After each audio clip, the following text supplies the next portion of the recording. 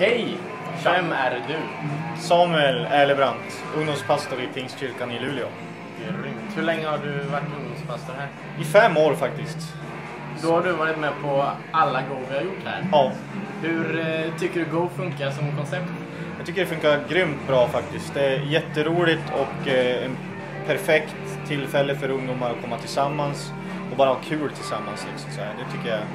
Så jag är jättenöjd med, med upplägget och, och eran del i det hela. För jag känner att jag som arrangör, eller vi som arrangör i staden, behöver inte dra det tunga lasset utan det får ni kommer med som ett färdigt koncept som vi bara på, får haka på med.